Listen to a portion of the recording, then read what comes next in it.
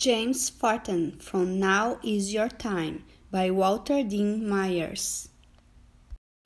Essential question What events or feelings would lead someone to fight for freedom? James Forten was born in Philadelphia in 1766 and grew up during the American Revolution. He overcome great obstacles to become one of the most important African Americans of his time. Thomas Forten, a free African, was employed by Robert Bridges, a sailmaker in Philadelphia. Sailmaking was a profitable but difficult job. Sewing the coarse cloth was brutal on the hands. The heavy thread had to be waxed and handled with dexterity. A person trying to break the thread with his hand could see it cut through his flesh like a knife. But Forten appreciated his job. It paid reasonably well and the work was steady. Forten's helped in all aspects of sail making and assisted in installing the sails only the ships the firm serviced. With the income from his work, he had purchased his wife's freedom. Now, on this early Tuesday morning, a new baby was due. The baby, born later that day, was James Forten. Young James Forten's early life was not that different from that of other poor children living in Philadelphia. He played marbles and blind man's buff and he raced in the streets. When he was old enough, he would go down to the docks to see the ships. Sometimes James went to the shop where his father worked and did odd jobs. Bridges liked him and let him work as much as he could. But he also encouraged Thomas Forten to make sure that his son learned to read and write. The Fortens sent their son to the small school that had been created for African children by a Quaker, Anthony Benezet. He believed that the only way the Africans would ever take a meaningful place in the colonies would be through education. Thomas Forten was working on a ship when he fell to his death. James Forten was only seven at the time. His mother was devastated, but still insisted that her son continue school. He did so for two more years, after which he took a job working in a small store. What James wanted to do was to go to sea he was 14 in 1781 when his mother finally relented and gave her permission. America was fighting for its freedom, and James Forten would be fighting too. He knew about the difficulties between the British and the American colonists. He had seen the first British soldiers and then American soldiers marching through the streets of Philadelphia. Among the American soldiers were men of color. A black child in Philadelphia in the 70s had to be careful. There were stories of free Africans being kidnapped and sold into slavery. He had seen the captives on the ships they looked like him, the same dark skin, the same wide nose, but there was a sadness about them that both touched his heart and frightened him. He had seen Africans in chains being marched through the street on their way to the south. He never forgot the sight of his people in bondage or accepted it as natural that black people should be slaves. But the black soldiers Forten saw were something special. Marching with muskets on their shoulders, They seemed taller and blacker than any man he had ever seen. And there were African sailors too. He knew some of these men. They had been fishermen and haulers before the conflict with Great Britain. Now they worked on privateers and navy ships.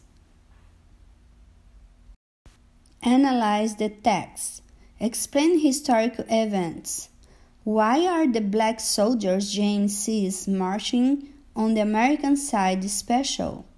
What was happening during this time period in history that made their positions in the military unusual?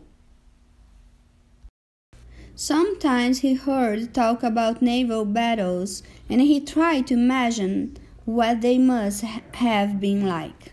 In the summer of 1781, James Forten signed onto the privateer Royal Louis, commanded by Stephen Decatur Sr. The colonies had few ships of their own to fight against the powerful British navy and issued letters of marque to private parties. This allowed the ships under the flag of the United States to attack British ships and to profit from the sale of any vessel captured. The Royal Louis sailed out of Philadelphia in August and was quickly engaged by the British vessel Active, a heavy armed brig sent from England to protect its trade ships. The Royal Louis guns were loaded with gunpowder that was tamped down by an assistant gunner. Then the cannonball was put into the barrel and pushed against the powder. Then the powder would be ignited. The powder had to be kept below decks in case of a hit by an enemy ship. Philadelphia Harbor as it appeared around the time the Royal Louis defeated the Active. Forten's job was to carry the gunpowder from below to the guns. Up and down the stair he raced with the powder as shots from the British ship whistled overhead. There were large holes in the sails and men screaming as they were hit with grape shot that splintered the sides of the ship. The smell of gunpowder filled the air as Captain Decatur turned his ship to keep his broadside guns trained on the active. Sailors all about Forten were falling, some dying, even as others cried for more powder. Again he went below decks knowing that if a shot ripped through to the powder kegs, or if any of the burning planks fell down into the hold, he would be killed instantly in the explosion. Up he came again with as much powder as he could carry. After what must have seemed forever with the two ships tacking about each other like angry cats, the Active lowered its flag. It had surrendered. Decatur brought his ship into Philadelphia, its guns still trained on the limping Active. The crowd on the dock cheered wildly as they recognized the American flag on the Royal Louis. On board the victorious ship, James Forten had mixed feelings, as he saw so many of his comrades wounded, and some mortally. The Royal Louis turned its prisoners over to military authorities. On the 27th of September, the active was sold. The proceeds were split among the owners of the Royal Louis and the crew. The sailors with the worst wounds were sent off to be cared for. The others, their own wounds treated, were soon about the business of repairing the ship. Forten must have been excited. Once the fear of the battle had subsided and the wounded were taken off, It was easy to think about the dangerous encounter in terms of adventure, and they had won. The missing crew was replaced. The ship was checked carefully by its captain and found to be in the fine fighting condition. The crew carried more ammunition aboard, more powder, and fresh provisions. Once more they sailed for open waters. On the 16th of October 1781, they sighted a ship, recognized it as British, and made for it instantly. As they neared, a second ship was spotted, and then a third. Decatur turned to escape the trap, but it was already too late. The three British ships the Amphion, the Nymph, and the sloop Pomona closed in. It was soon clear that the Royal Louis had two choices to surrender or to be sunk. The Royal Louis lowered its flag. It had surrendered, and its crew were now prisoners. Forten was terrified.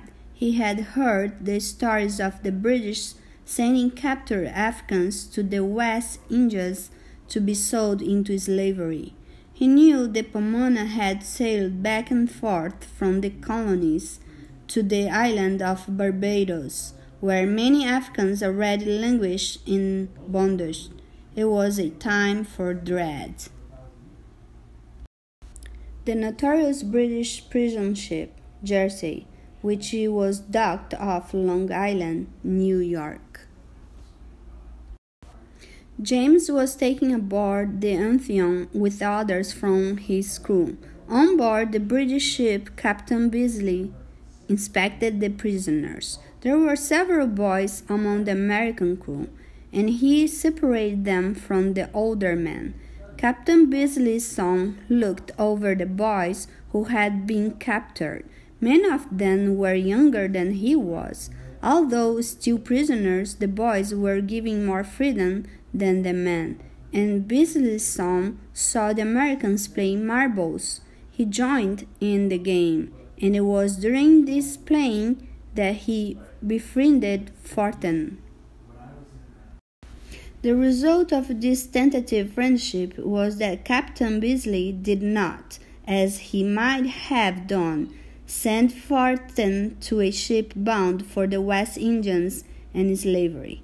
Instead, he was treated as a regular prisoner of war and sent to the prison ship, the Jersey. Dark and forbidding, the Jersey was a 60 gunner anchored off Long Island in New York. It had been too old to use in the war and had been refitted first as a hospital ship and then as a ship for prisoners. The Portholes had been sealed and 20 inch square carved into her sides. Across these squares, iron bars were placed. The captain of the Jersey greeted the prisoners with a sneer. All were searched under the watchful eyes of British Marines. The wounded were unattended, the sick ignored. The pitiful cries of other prisoners came from below decks. A few pale, sickly prisoners, covered with thorns, were huddled around a water cask. Then came the cry that some would hear for months, others for years. Down, rebels, down! They were rebels against the king, to be despised, perhaps to be hanged. Traitors, they were being called, not soldiers of America. James was pushed into a line on deck.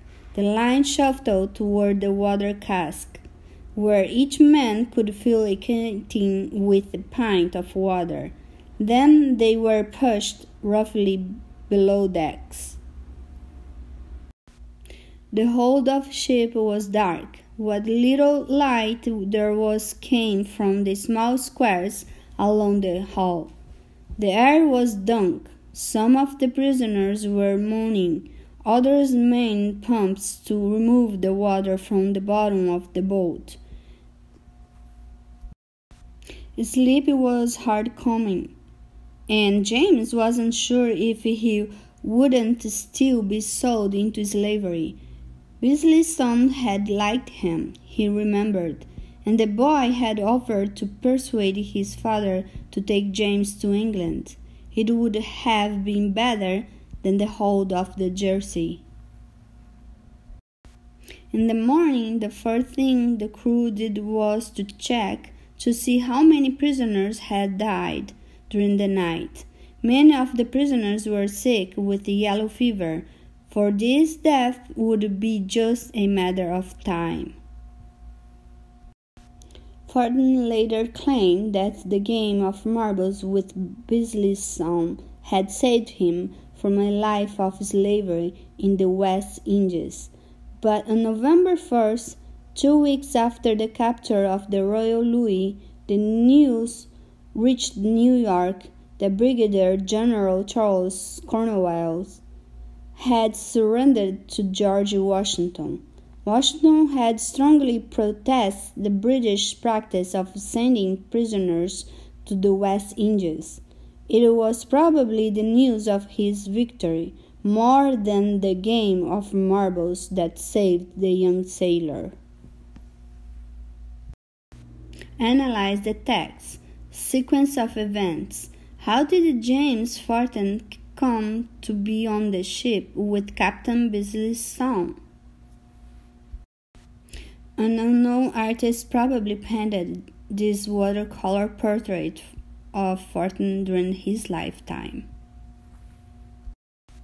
James Forten was not a hero. He did not single handedly defeat the British or sink a ship, but he fought, like so many other Africans, for the freedom of America, and he fought well. He was only one of thousands of Africans who helped to create the country known as the United States of America. In Philadelphia, after the war, James Forten became an apprentice to the man his father had worked for, Robert Bridges. Like his father, Jamie was a hard worker. Eventually, he would run the business for Robert Bridges and by 1798 he won it. At its height, the business employed 40 workers, both black and white. Forten became one of the wealthiest men in Philadelphia. He married and raised a family, passing on to them the values of hard work he had learned from his father. Forten made several major contributions to the sail making business. Among them, a method of handling the huge sails in a shop, which allowed sails to be repaired much faster and saved precious time for ship owners. In the coming years, he would use his great wealth to support both anti slavery groups and the right of women to vote. At a time when over 90% of all Africans in America were still in a state of enslavement. James Forten became one of the most influential of the African abolitionists. He spent much of his life pleading for the freedom of his people in the country his people had helped to create. Analyze the text. Main ideas and details. What are the main ideas of this text? How do you know? What seems to be the text's overall main idea?